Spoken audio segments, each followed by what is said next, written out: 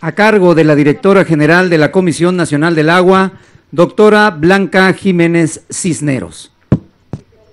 Bueno, estamos aquí eh, enfrente del canal Centenario, que va a ser la obra más importante para el riego hidroagrícola que se haga en este, en este sexenio. Es una, vamos a dotar de agua a 43.105 hectáreas y 7.643 productores para producción de chile verde, frijol, maíz, jitomate, sorgo de grano, mango y arroz. La inversión total de 8.500 millones de pesos y el avance físico global es de 22%. La inversión para este año fue de 660 millones de pesos, generamos 615 empleados, de notar que hubo una alta participación de mujeres. Yo creo que esto es una cosa a destacar. Eh, la gente, eh, las mujeres se sintieron más seguras trabajar cuando estaba también Sedena protegiéndolas. Yo creo que es una cosa muy, muy importante. Son cuatro etapas. La primera etapa empezó en 2014. Es uno, de uno con esto es el tercer proyecto que, que eh, llevamos avance. 722 productores, 2.130 7 millones de pesos y estamos en, eh, tendremos la segunda etapa que, fue, eh, que será en 2021, ya tenemos el dinero reservado para 2.343 eh, productores. Aquí la primera etapa tiene pocas hectáreas, pero vamos a ir multiplicando por tres veces el número de hectáreas y de productores en la tercera y en la cuarta etapa. yo le había comentado una vez que era muy diferente hacer carreteras a hacer obras hidráulicas. Las obras hidráulicas son mucho más complejas. ¿Por qué? Porque tiene uno que hacer el transporte, pero además manejar el agua. Y como también nos decía el general Iván Hernández Uribe, que es el que le digo que ya es hidráulico, es una obra que está uno siempre trabajando contra la naturaleza. ¿Por qué? Porque uno les diseña para que lleve el agua. Y cuando hay mucha lluvia, la lluvia se vuelve un enemigo porque casi se le mete uno todo el agua. Estuvimos parados un tiempo por las inundaciones, eh, hubo también eh, un, por el COVID no hubo eh, prácticamente tiempo que estuviéramos fuera, pero además aprovechamos para darle un mantenimiento a la primera etapa. Para 2021 se va a hacer la planta del sifón, es una obra sumamente compleja, pero aquí le quería yo mostrar todas las diferentes obras que hay, entradas de agua, puentes vehiculares, se hizo un puente para tren, también se hizo eh, eh, obras que son sumamente complejas, tomas laterales, represas radiales, aforadores para medir, tomas de granja, los sifones que son también muy, muy complejos y pasos por debajo de carretera.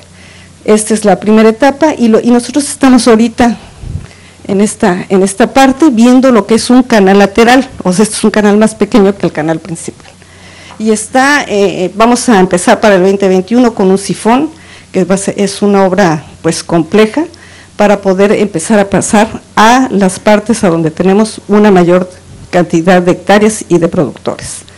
Pues eso sería brevemente las láminas. Es un gusto acompañar al presidente Andrés Manuel López Obrador a supervisar la obra más importante de riego hidroagrícola de este sexenio. Con su permiso, señor presidente, con, eh, saludo también al gobernador Antonio Echeverría García, gobernador constitucional de Nayarit. Muchas gracias también por todo el apoyo que nos ha dado para eh, acompañar estas obras. Son obras muy complejas, eh, no solo se trata de construir, también se trata de hacer una labor social, eh, tener el apoyo del INA, de las manifestaciones de impacto ambiental y toda una serie de cosas que van a lo largo de estas obras que son sumamente complejas. Muchas gracias a usted y a todo, a todo su equipo. Muchas gracias muy especiales al licenciado Luis Crescencio, al, general Luis Crescencio Sandoval González, secretario de la Defensa Nacional.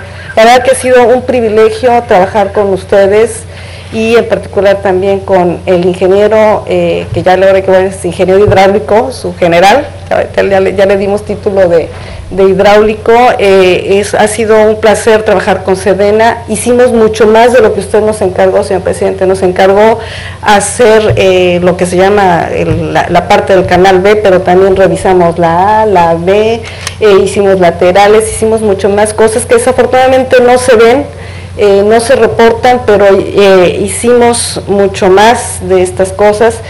Pero además lo hicimos porque lo hicimos con mucho cariño, con muchas ganas de trabajar juntos y porque el general Iván también tiene la cualidad de ser un super ahorrador de dinero. Se nos, ha, nos trae, no solo hace uno suficiente del, del recurso, sino está pendiente de detalles tan pequeños como que cuando estaba el dólar a, 18, nos, se nos traía, pero ahora sí que firmes y marchando allá en agua para que le compráramos todo el material y pudimos ahorrar 500 mil pesos, 500 mil pesos que nos sirvieron para hacer otras cosas.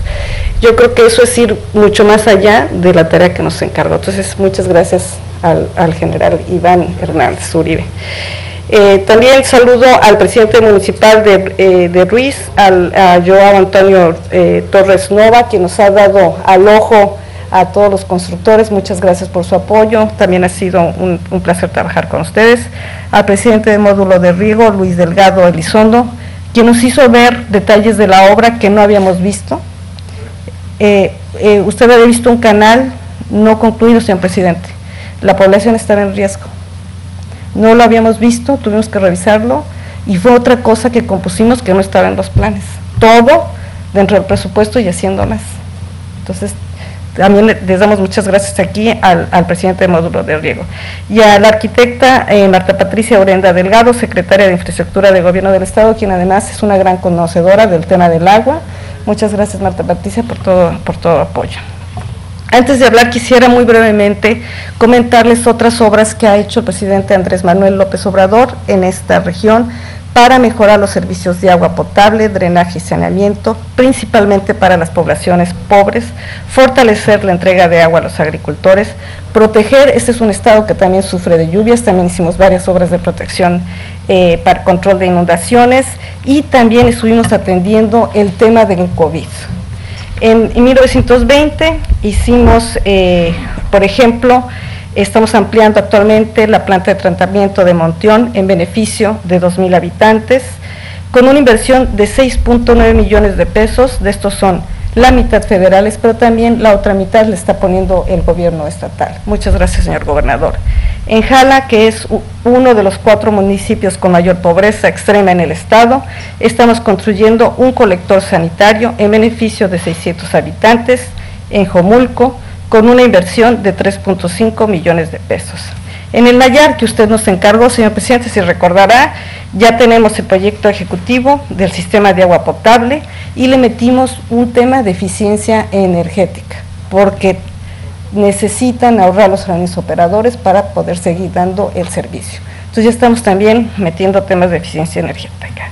En el tema eh, del COVID, se destinaron, como usted lo instruyó, 1.8 millones de pesos para dotar con equipos y insumos de desinfección a los organismos operadores del Estado en beneficio de 1.2 millones de nayaritas. esto es muy importante porque el lavado de manos reduce en 25% las enfermedades respiratorias. Son 25% menos de camas, 25% de menos de gente que fallece. Es muy importante invertir en el tema del agua. También eh, hicimos, para los agricultores, estamos rehabilitando bombas y revistiendo canales para mejorar la eficiencia eh, del uso del agua en el distrito de riego 043 en beneficio de 224 hectáreas en los municipios de Bahía de Banderas, Santiago Iscuintla y Rosa Morada. También estamos rehabilitando el dreno Tates, que estaba en riesgo por desbordamiento y estamos beneficiando 773 hectáreas. En total, para la infraestructura hidroagrícola de este estado, está, el gobierno federal invirtiendo 630 millones de pesos.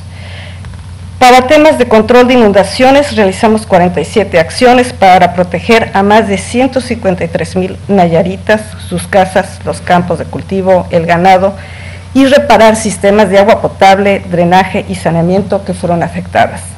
También quiero destacar la limpieza de esa solve del arroyo Rosa Morada en el municipio de mismo nombre para proteger a 7.350 habitantes y llevamos un, eh, un avance en este sentido, es otra cosa que usted también nos encargó.